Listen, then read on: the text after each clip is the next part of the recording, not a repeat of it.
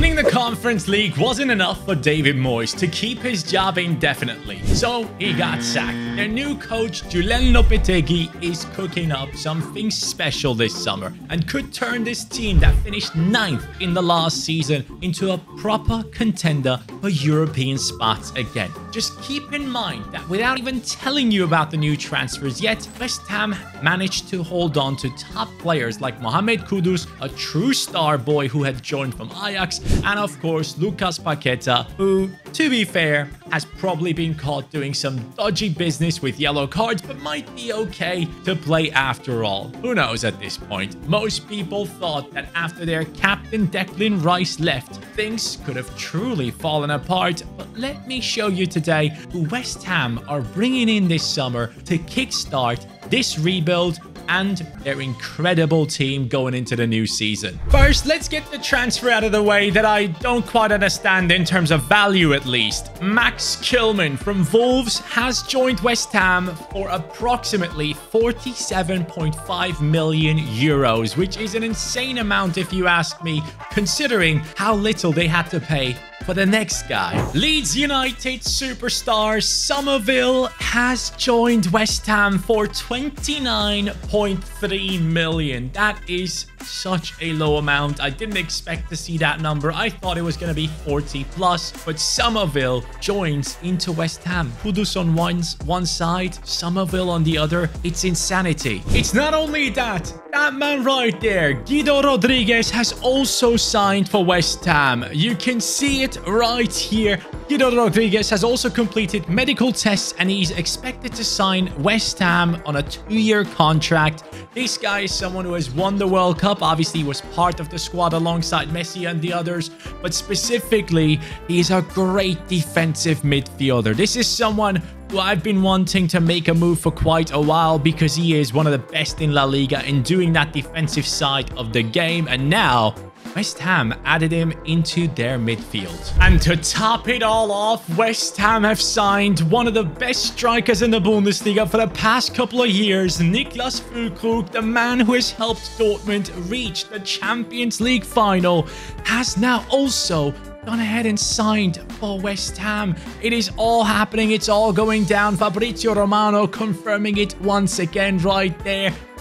It is insane. Honestly, West Ham, I respect it. I respect it big time. These moves are definitely going to be helping this squad. And while we're talking about the squad, let's take a look at it. Now, this could be the squad of West Ham going into the new season. And there are a couple of question marks. Füllkrug up top clearly should be the number one striker. I know for a fact that this guy can do wonders for this team. Bowen could either play down the wings or could even move into the middle of the pitch or Kudus could do the same. We'll have to figure out what the best way is to do this because I personally really, really like Kudus off of that right-hand side. Summerville coming in onto that left midfield position. Paqueta it out in that midfield in a position where he's now going to be a lot more free to move forward with the ball because now he has Rodriguez next to him who's just going to be defensive pretty much. And then in defense, Kilman, obviously coming in. I believe he worked with Lopetegui before, so he has made his move to once again play with the current coach. Mavropanos, who was amazing in the Bundesliga. Now, I don't know how he actually settled in at West Ham. I believe the second half of the season was potentially better, but we still have the likes of Aguerd here and we have Alvarez, we have Ward-Prowse. So for that midfield, we have amazing options, and even Alvarez could just drop down into that centre back position and instantly become a starter for this team, which is probably something that I'm gonna be doing because I need to utilize everything we have in this West Ham team to start off with. And of course, everyone that has left, as you can see on the list right here, Downs, Benrahma, Thilo Kehrer, Trott, Ben Johnson, all these guys I will have let go by the time the season begins, and we won't be making transfers in season one because I want to see if the plan of West Ham actually works out. Oh, and I nearly forgot, West Ham actually went out and got a Brazilian top talent as well in Guilherme. They brought him in, he already stepped onto the pitch for them, and sadly in FC24, as you guys know,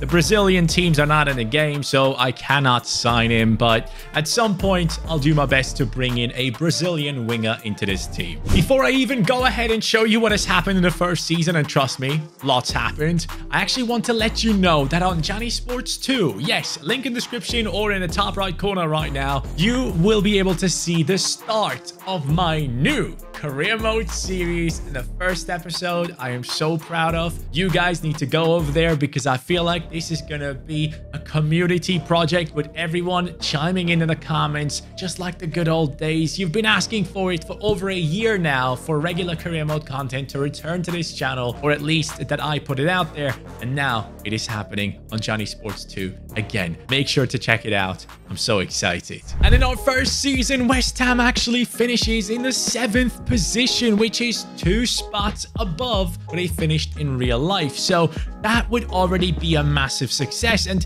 here's the thing I'm kind of asking myself. West Ham fans, how far do you want to see your team go? Because realistically speaking, teams like City, Spurs, Liverpool, Arsenal, Manchester United, and Chelsea should kind of always be ahead of West Ham just alone in terms of like the ability to spend so much money and some of these clubs obviously history as well. So I'm just thinking like how far realistically can West Ham go in the next season? And I feel like eighth or seventh would be an amazing achievement. I'll be completely honest, and the fact that we have achieved that is great. But that's not the only thing, my friends. We are in the FA Cup final against Crystal Palace. Two teams that should probably not be here are going to be up against each other. And our team is ready to go. Füllkrug 81. Kudus now as a centre attack in mid. 84 rated. We see Summerville gone up to an 80. Kilman 79. Alvarez 84. Rodriguez ahead of him. I'm hoping that this team can actually go ahead and win it all but I pressed the wrong button. So before it even kickstarts right here, let me just chime in, press start, jump to sim, and see how this one goes. Come on, West Ham. Yes, Kudus in the 106th minute. Congratulations. A major trophy has been won. And with that, we are automatically qualified for Europa League football, if I'm not mistaken. So a really, really good season for West Ham right here. And clearly there are two positions and maybe even three that we need to sort out in the next season.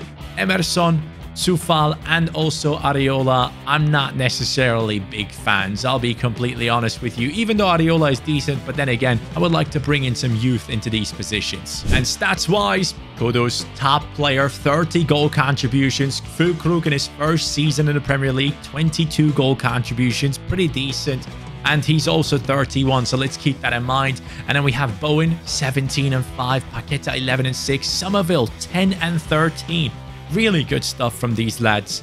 I think it was the right decision to bring all these players in West Ham. West Ham already done great business in the first season, so I didn't have to do anything. But now I've let go of Kurt Zouma for 17.2, Soucek for 17.1, Coufal for 13.9, Areola has left for 12.8, Cornet has left for 11.4, Emerson for about 11 million, and Danny Ings has left for 7.7.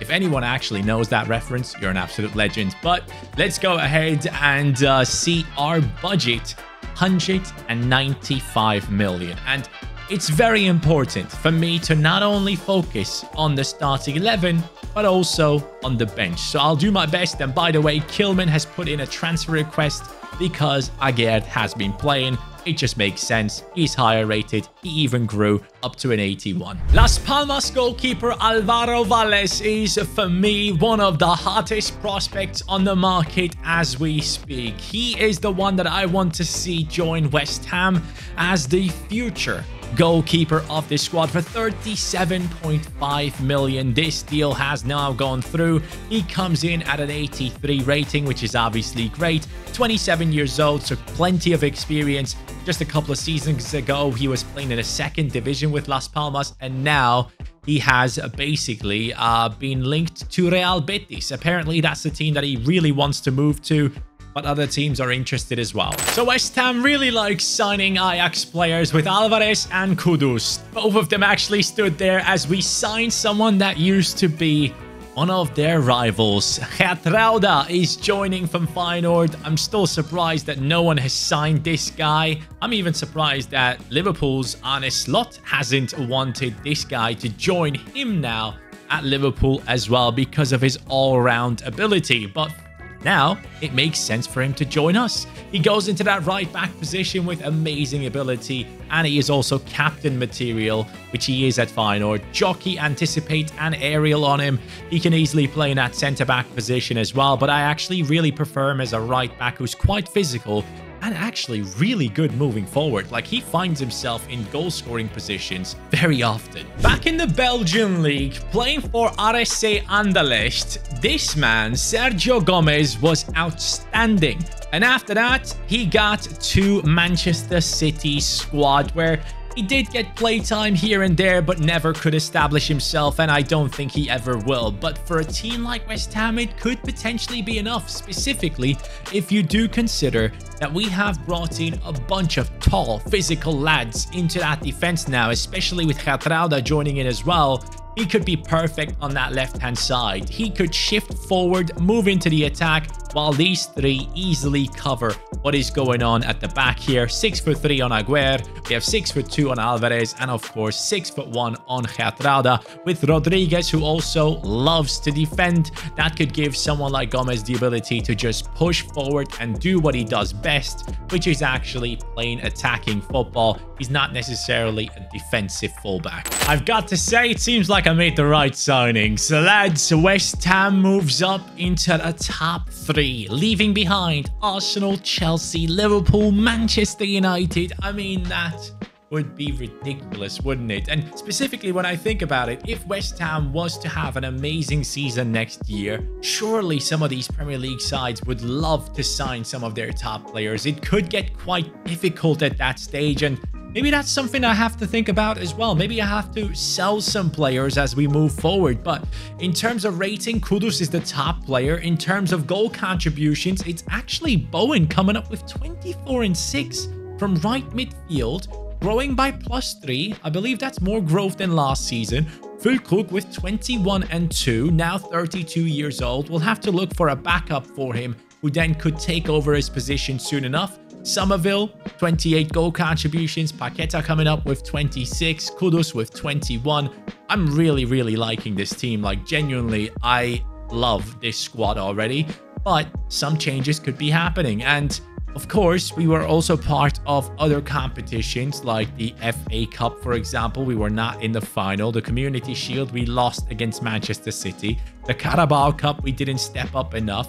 And of course, I believe we were part of the Europa League. And in the Europa League, we got kicked out by Frankfurt, who today actually are losing Pacho, one of their best uh, players, to PSG. So good luck, Frankfurt. But for now, let's return to our team and move into the next season, see what we can do in the transfer window by bringing in a bunch of great backups. And guess what? It's happening. The best player in our team from the last season is now being picked up by Chelsea for 75 million. Chelsea out of all clubs, which West Ham obviously hate. So this makes it even worse. Lads, at some point, we have to let go one of our best players, and Bowen turned out to be the one. And I feel like that just makes this a little bit more exciting. I feel like in a ton of my rebuilds in the past, I've stuck to one team all the time. There needs to be stuff happening in the future as well. A team doesn't stick together forever. Well, there's a new star, and I told you at some point I'll be buying a Brazilian winger that will replace Guilherme, who sadly isn't in the game. Well, that is Savio, the man from Girona, the man who just joined Manchester City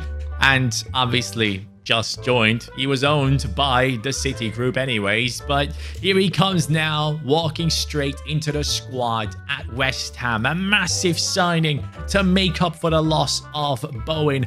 I believe this man could be a special one for us. The thought of Kudus, Savio, and Summerville in the same attack.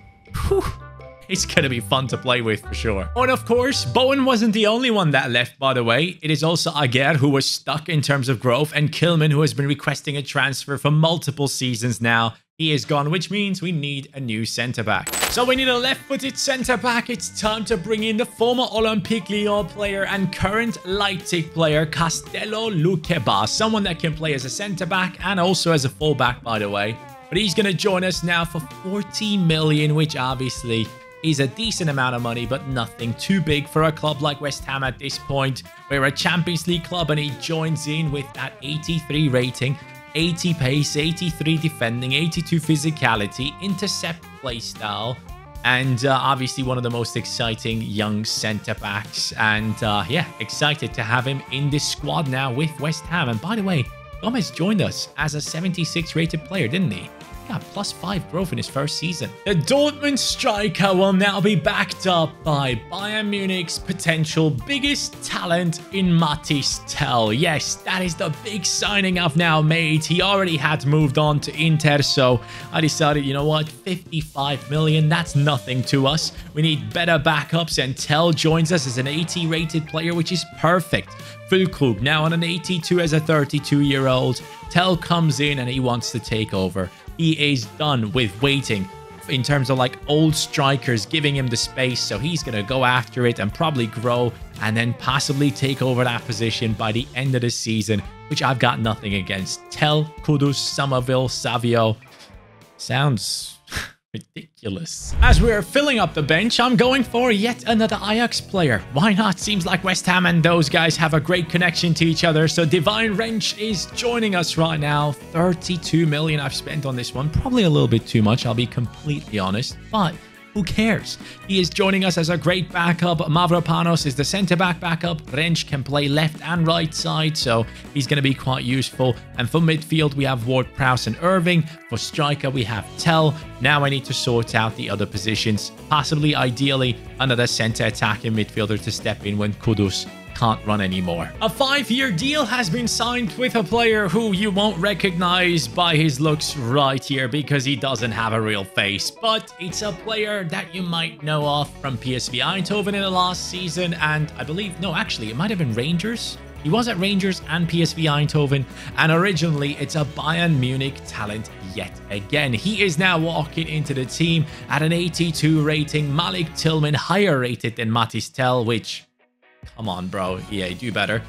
he should start way higher than Tillman. But anyways, this guy's shown great performances in the past couple of seasons. Decent amounts of pace, good shooting, passing, dribbling, and a bunch of play styles. Someone that could be a true hidden gem in any other career mode. But right now, we have Kudus, so Tillman, I'm sorry, pal. You're just going to be a backup but a good one. Immense amount of growth has led to our team getting to yet another FA Cup final. This time it is against Liverpool. Look at it. Füllkrug is still leading the line, has gone up to an 83 actually. Kudus 89, but then look at Summerville, 91 rated. Savio, 90. Paqueta and Rodriguez looking very, very solid and defensively, we are looking better than ever. That surely wins it, right? No! Zaccagni in the 112th. Last time we won it in extra time. This time we lost it. And with that, we have lost the opportunity to win any trophy this season because in the Premier League, we got second, which is great, but a big gap to Manchester City. 16 points. That is a lot. And when it comes down to the Champions League, which we obviously took part in, we only got to like round the 16. Yeah, Barcelona kicked us out and they didn't even make it to the final. So still, there's a lot of work to be done, but I feel like one or two seasons in and we will do really well in Europe. It will come down to the growth of these players. Mathys Tel up to an 83, Tillman 84 as well, Rensch up to an 82. The backups are solid. Defensively, we are slowly getting there. The attack was always kind of ahead of what we had in defense, and obviously the striker was never really very high rated. So with Mathys Tel coming in now with the same rating as Füllkrug, I fully expect him to become the main man in the next season. Let me see them stats. We're looking at Füllkrug with one last hurrah, 31 and 3. Summerville, 18 and 12. Savio did well, Kudus did well, and again Summerville plus 6 in growth. He's on some odd drugs right there. Mathys Tel off the bench with 7 goals, good enough for the first season. The next season, is yours, buddy. Okay, it might be worth tuning in already because we have just beaten Real Madrid in the quarters and in the round of 16 and now beaten Bayern Munich in the quarters. Up against Dortmund, beaten them. West Ham is going to the Champions League finals. After the Conference League win, now West Ham has the chance to win a Champions League trophy. Guys, we have built an amazing squad in my opinion. Take a look at it. Tel up to an 86. It could have been more, but I'm actually happy with that. He had a little bit of an injury for the season actually. Um, okay, Rodriguez on a red card. Well, that is great. I guess I'll have to take out my best defending midfielder and put in Ward-Prowse instead of it. Savio 92, Summerville 93, Kudus 92. That three behind Tel is going to be so much fun to use. Paqueta up to an 88 at this stage. Defensively, we have seen some growth, nothing outstanding. Valles has gone up to an 89, and obviously we have great players on the bench right here, which is important, but we'll have to take one of them out and put Luisao in there because, you know, we have that red card. But Seeing all of this, it's impressive. How are we looking in the Premier League, though? I actually haven't looked into it. Is there a chance of a double? There is a chance of a double. West Ham have won the Premier League title, 82 points ahead of City, United, Liverpool, everyone. This is impressive. Let me see them numbers, though. Who has been the guy? It has been... Whoa. Füllkrug. 30 and 6. He still played.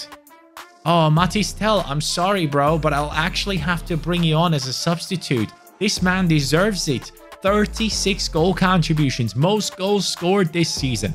Savio, amazing season. Summerville as well. Kudus did well, but Füllkrug, I didn't see that happening. 34 years old now, still growing. I don't know why, but I guess it only makes sense for us to take him into this game against Barcelona. We have Alejo Veliz up top. Ferran Torres Rafinha, Calhanoglu Pedri Sergej Milinkovic Savic, interesting midfield, Nuno Mendes, Akanji Kunde Mazraoui, who actually was linked to West Ham, but now seems like he's going to Manchester United, ter Stegen in goal. That's a really odd team. I like it, but I love the fact that our team has uh, is going to be having Füllkrug up top. I'm sorry, Tel, you and Tillman can come on as substitutes later on and have a massive impact, but I'm hoping that I won't need you. Well, the game is seemingly in England, in Manchester, so that should be a plus for us. Here we go. Barcelona, let's see how you're going to do. Still no Lamine Yamal in the game, which obviously kind of sucks, but in FC 25, we will have that man in the game, and he's going to be one of the most used players for sure. Oh, I don't like this. Need to step up a little bit. Impressive save. Offside. Thank you very much, Valles. Nice Summerville. Great pass into Gomez. As I said, he likes to move forward. Now, Füllkrug is not in the best position for this, but we'll give it a shot with a beautiful finesse shot, actually. That turns quite dangerous. How did... What? How the hell did he just make it past me there? Oh my god! That's a terribly timed tackle. Valles, I appreciate you. You're a legend already. Solid steal by Ward-Prowse. He obviously has a great pass on him. Can he find Füllkrug here? Ah, it's offside. What am I doing? Calhanoglu. Ooh, I didn't see that pass. Geertruida. No.